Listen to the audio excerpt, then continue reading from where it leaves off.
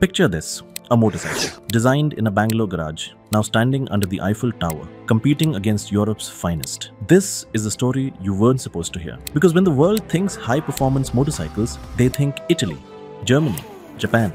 They don't think India. But two engineers from Bangalore didn't get that memo.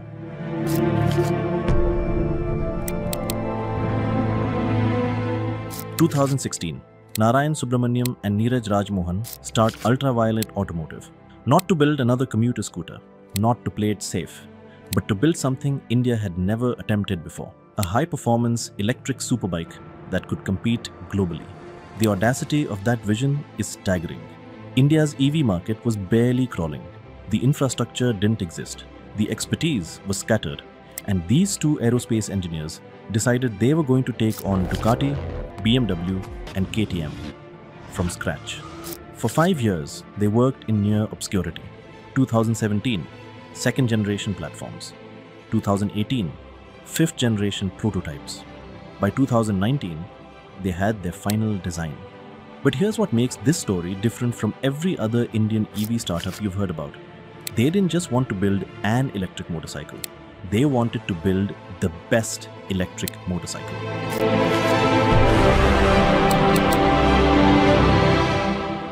November 2022. The F 77 launches in India, and immediately the numbers don't make sense. 0 to 60 in 2.8 seconds. The electric acceleration of the F77 takes you from 0 to 60 in 2.8 seconds. That's Bugatti Veyron territory. Top speed 155 kilometers per hour. Range up to 323 kilometers on a single charge.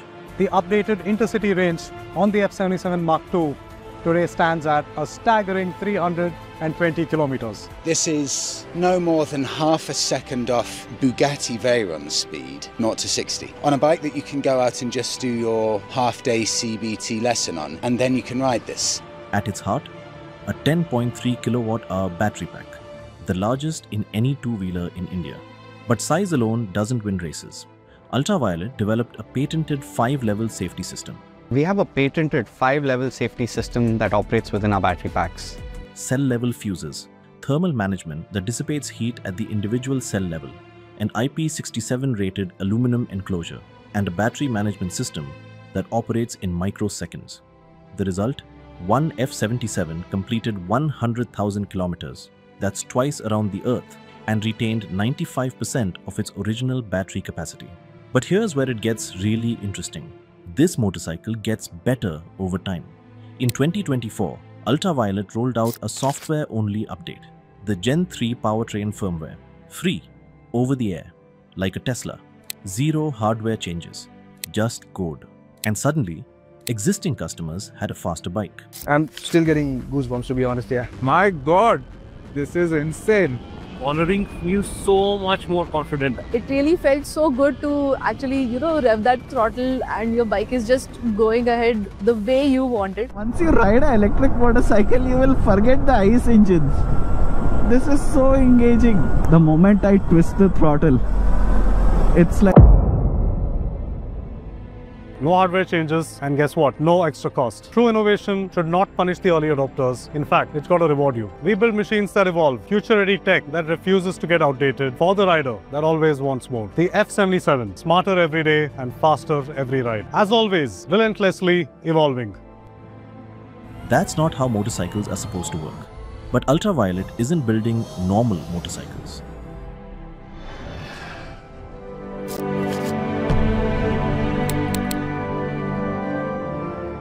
November 2023, Milan, Italy. EICMA, the world's largest motorcycle exhibition, the place where legends are made and pretenders are exposed. Ultraviolette shows up with the F 77. The response? Disbelief. How is an Indian startup competing here against brands with century long legacies? But Narayan and Neeraj knew something. To be taken seriously globally, you couldn't just meet European standards, you had to exceed them. October 2024, the F 77 Mark II secures UNECE L3e homologation. This certification authorizes it for road use in 40 countries. The F 77 becomes the first Indian electric motorcycle with full European certification. And then the blitz begins. June 2025. Paris. The Eiffel Tower. Ultraviolette launches retail operations in 10 European countries simultaneously. Today, while we're launching in Paris, France, we are also announcing our entry into 10 nations across Europe. Very proud moment for all of us at UV and for our country. By year end, they add Spain and Portugal, 12 European countries in 6 months. This bike has really interesting technology that I've never seen before. It has haptic feedback in the handlebars that buzz when danger is detected. So there's a buzz in the handlebars that warns me ahead of time. But here's the strategic genius. They didn't go alone. In the UK, they partnered with Motomondo, a major distributor for Royal Enfield. In Spain and Portugal, Rhino Electric. In Nepal, the Kedia Group. The European pricing 9,990 euros. That positioned them against KTM and mid spec Yamahas. Not cheap. But here's what's wild The equivalent LiveWire, £17,000. The Zero is £15,000. Ultraviolette is £7,000 and £5,000 respectively cheaper than those two models. But the one huge bonus it has, on top of the massive chasm in price difference, is that this Ultraviolette, somehow with the witchcraft, can be ridden on a CBT license.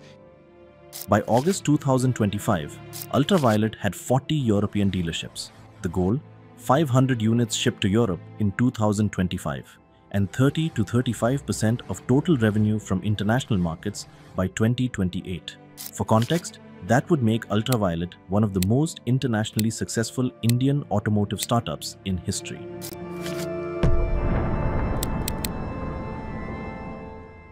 But while the F 77 was conquering Europe, Ultraviolette was building something even more insane the F 99 racing platform. 265 km per hour top speed, 90 kilowatts of power, 0 to 100 in 3 seconds, complete carbon fiber exoskeleton, a 400 volt high voltage architecture. A top speed of over 200 kilometers per hour and a power output north of 65 bhp. Now these are the crazy specs that this machine is capable of. This isn't a production bike. This is Ultraviolette's Halo, their Moto E competitor. Their statement to the world that Indian engineering can build anything. And here's the strategy technology developed for the F 99 trickles down into consumer bikes. Just like Formula One innovations end up in your family car. The pipeline is expanding. The X47 crossover, codename Shockwave, codename Tesseract, each one pushing boundaries each one funded by their latest $145 million in total capital raised.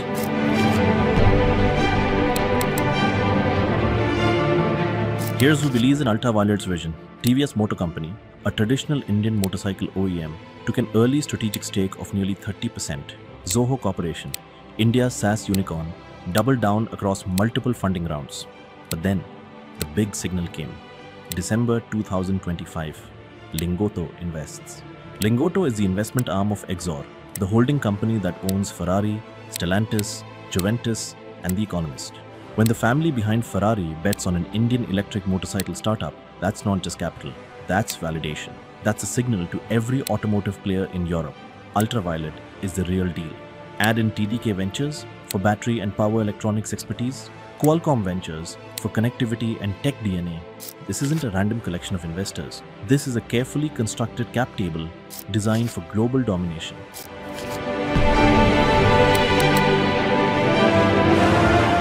what's next? Nepal already has an Ultraviolette space station, their first international showroom outside India. Southeast Asia is on deck.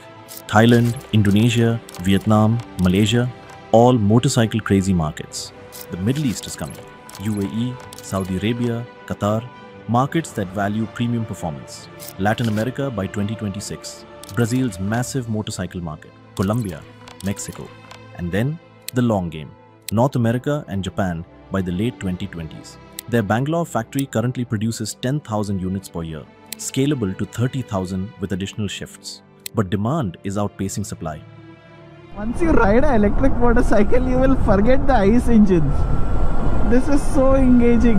The moment I twist the throttle, it's like the bike literally comes alive. The question isn't if they'll scale, it's how fast.